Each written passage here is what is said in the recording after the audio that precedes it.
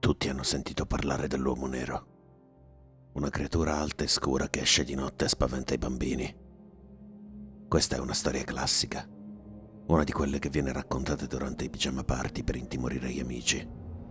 Le persone hanno escogitato diverse versioni della storia, ad esempio che l'uomo nero esce allo scoperto solo durante la luna piena, che prende la forma delle vostre paure più grandi, o che vive sotto il vostro letto e aspetta il momento giusto, proprio quando siete più vulnerabili, per rapirvi. Ma conosco la verità. Non esiste l'uomo nero. Esiste solo qualcosa di molto diverso, qualcosa che si allontana dalle leggende, qualcosa che non vi aspettereste. Come faccio a saperlo? Perché l'ho visto con i miei occhi. Avevo 11 anni. Vivevo in una casa relativamente tranquilla in periferia con i miei genitori. Essendo figlio unico, ebbi il privilegio di ottenere tutto ciò che volevo. Avevo una grande camera da letto tutta per me, piena di giocattoli e videogiochi. Ero un bambino piuttosto viziato. Con il passare delle settimane lo spazio nella mia stanza diminuiva, quindi i miei genitori decisero che era ora che trovassi un posto dove riporre tutta la mia roba, che non fosse sul pavimento. Quindi, qualche settimana prima dell'accaduto, avevano trovato un vecchio armadio di seconda mano e avevano deciso che si sarebbe adattato perfettamente alla mia stanza. Non avevo una grande opinione sull'armadio e lasciai che i miei genitori lo sistemassero e pulissero come volevano. Passarono diversi giorni senza che accadesse nulla di anomalo. I giorni diventarono settimane e ben presto l'armadio fu pieno dei miei giochi. Polvere e ragnatele si accumulavano in alto. Segni di morsi incorniciavano la porta e parte degli angoli erano scheggiati. Se prima l'armadio di seconda mano sembrava vecchio, lo sembrava di più adesso, dopo aver trascorso alcune settimane nella mia cameretta. Ripensandoci, c'era qualcosa nell'avvicinarsi a quell'armadio che mi era sempre sembrato un po' strano. Era come se avessi una brutta sensazione, brividi ogni volta che mi avvicinavo. Ma da bambino quale ero non prestai molta attenzione a ciò e ignorai la faccenda. La notte in cui successe tutto stavo giocando con i miei peluche preferiti. Fu interrotto da mia madre che entrò nella stanza per dirmi che era ora di andare a letto. Con riluttanza misi i peluche nell'armadio e mi infilai sotto le coperte. Mia madre me le rimboccò, mi diede qualche bacio sulla guancia e spense le luci mentre lasciava la stanza. Sapevo che avrei dovuto dormire, ma in quel momento proprio non potevo. Ci avevo provato, ma avevo troppa energia.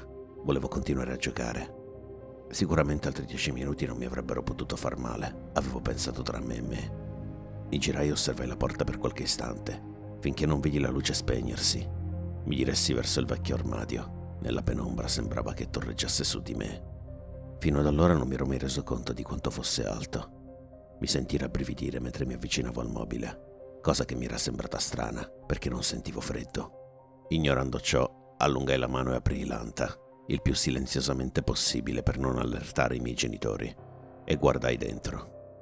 Giocattoli, carte e giochi da tavola erano sparsi nell'armadio.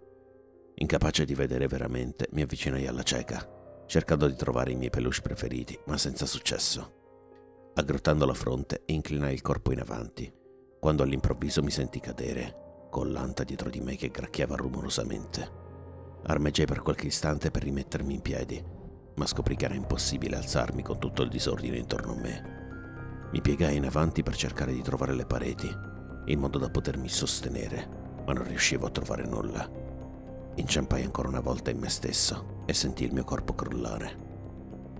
Un leggero panico mi salì nel petto mentre correvo all'indietro, ma alla fine mi sentii spingere fuori dall'armadio e caddi fuori. Mi sedetti sul pavimento respirando affannosamente. Ci volle un momento ma non appena i miei occhi si adattarono all'ambiente circostante, capii subito che non era la mia stanza.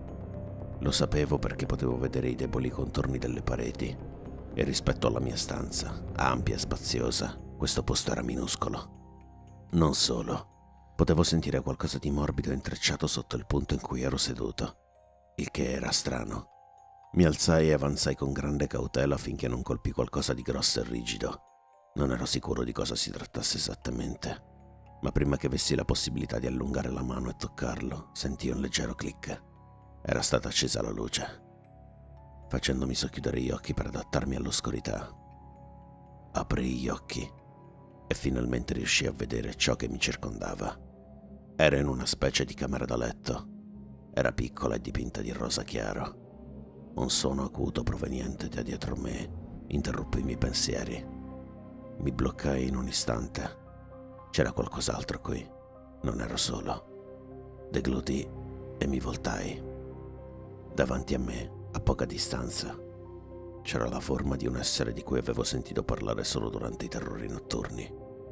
La sua pelle era pallida, con chiazze di un rosso intenso sotto i suoi occhi piccolissimi. La sua testa era insolitamente rotonda e lunghe ciocche di peli scuri arruffati gli coprivano il viso. Due rigonfiamenti di forma ovale spiccavano su entrambi i lati del viso, parzialmente nascosti dalle ciocche di capelli, ma ancora ben visibili. Forse la caratteristica più inquietante del suo volto era la verruca posta più o meno al centro, che apriva e chiudeva, mostrando dei denti squadrati ma non affilati. Era piuttosto basso di statura. Il suo corpo era stranamente asimmetrico e proporzionato, con le ossa appena visibili attraverso la pelle, a causa dell'eccesso di carne sul corpo della creatura. I suoi arti sottili si erano arricciati su se stessi e le sue zampe sporgevano artigli corti e rotondi sulle punta. Una nuova ondata di paura mi consumò mentre fissavo gli occhi del mostro che rimase immobile quanto me. Non potevo muovere un centimetro del mio corpo. Le funzioni motorie si bloccarono come se avessi perso ogni risposta. Ma poi, senza preavviso, cominciò a muoversi lentamente verso di me. Tremava, si contorceva, muoveva gli arti in modo incerto una corta appendice si estendeva davanti all'altra. Si fermò.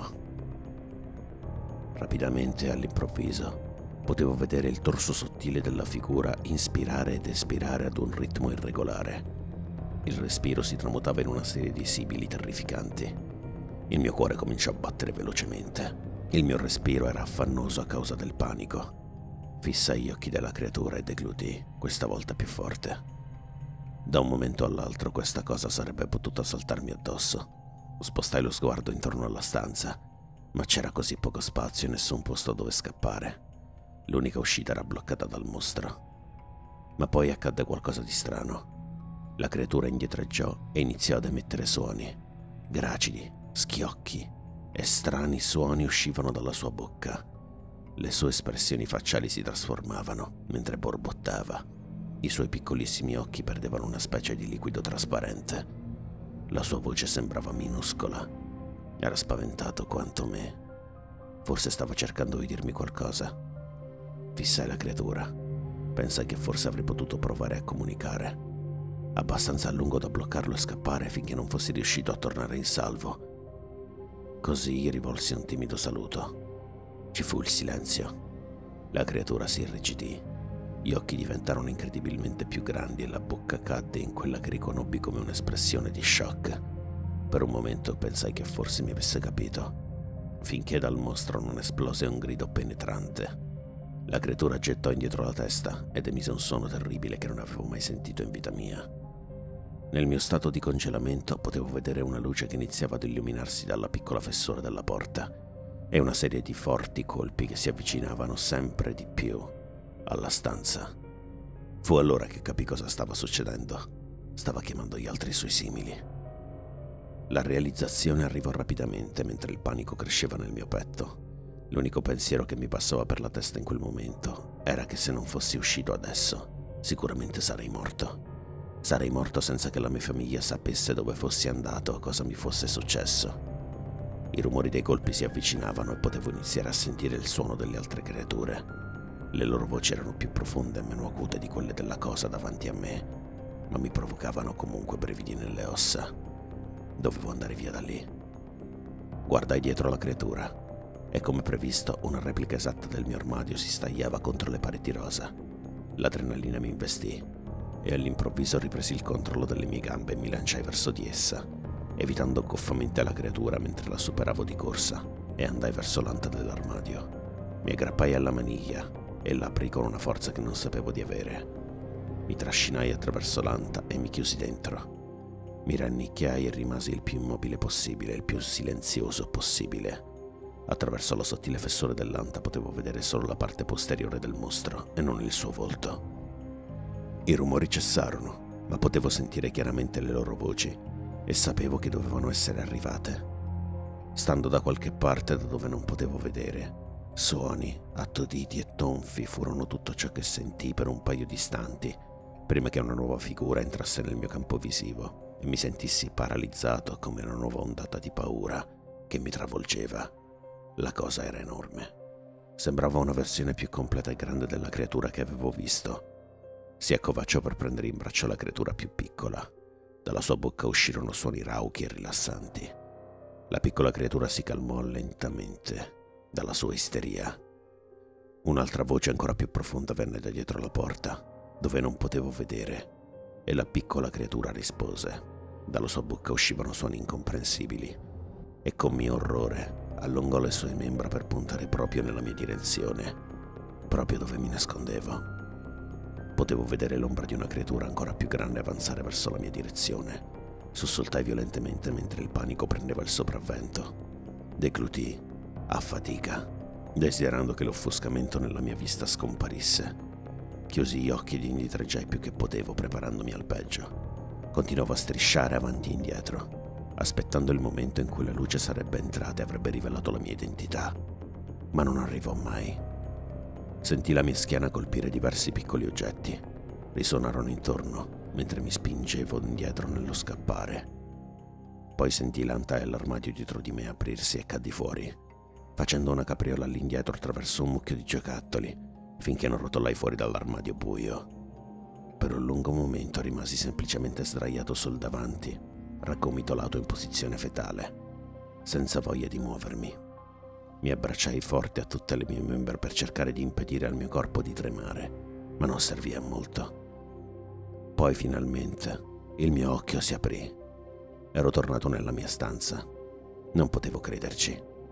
Non era cambiato nulla da quando me ne ero andato, a parte i giocattoli che erano ora sparsi intorno a me. Le ante dell'armadio erano chiuse. Feci l'unica cosa a cui potevo pensare in quel momento. Urlai non avevo idea da quanto tempo stessi urlando, ma tutto quello che sapevo era che la mia voce stava iniziando a rompersi e non potevo più trattenere le grida di angoscia che avevo trattenuto dentro me. Ero troppo fuori di testa per notare il rumore dei passi dei miei genitori, che si dirigevano verso la mia stanza, le loro voci che gridavano freneticamente. Non elaborai l'accensione delle luci, ma sentì mia madre che dolcemente mi rassicurava, cullandomi contro il suo petto ossuto. Mi chiese cosa fosse successo. Gridai con tutta la voce che avevo in corpo, armadio, e allungai un braccio per indicarlo direttamente. I miei genitori si guardavano l'un l'altro. Mia madre mi chiese che cosa non andava. E io urlai ancora, mostro. Sentì mia madre sussurrare qualcosa a mio padre, ma non riuscì a capire cosa. Poi si voltò con voce calma verso di me e disse che papà avrebbe controllato. Non volevo. Avrei voluto dire a mio padre di smetterla prima che fosse troppo tardi, ma non ci riuscì. Le parole mi morirono lentamente in gola, come se qualcosa in me fisicamente appassisse e morisse. Aprì le ante dell'armadio senza un attimo di esitazione e... niente. Non c'era niente. Non c'era niente lì tranne una pila disordinata di giocattoli e un muro di legno dietro. Mio padre mi sorrise, esponendo le sue zanne affilate in modo rassicurante.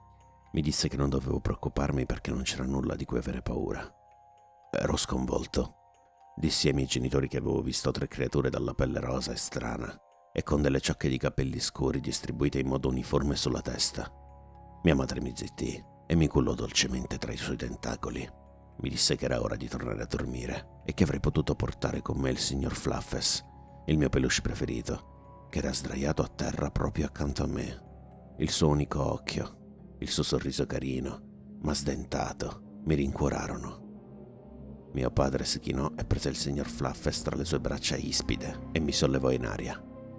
Si trascinò al mio capezzale e mi mise a letto, dandomi un bacio sulla fronte. Fui sopraffatto da un'ondata di stanchezza e non potei fare a meno di soffocare in uno sbadiglio. Sentì mia madre ridacchiare leggermente mentre stava accanto a mio padre sul bordo del mio letto. Nonostante lo shock che sentivo ancora in tutto il corpo, annui lentamente con la testa. Ero semplicemente troppo stanco. Non volevo più giocare, volevo solo dormire. Dormì e feci finta che tutto questo non fosse mai successo. L'ultima cosa che ho sentito prima di perdere conoscenza fu la voce di mio padre che sussurrava. Ricorda ragazzo, i mostri non esistono. Ed era una cosa di cui non ero così sicuro.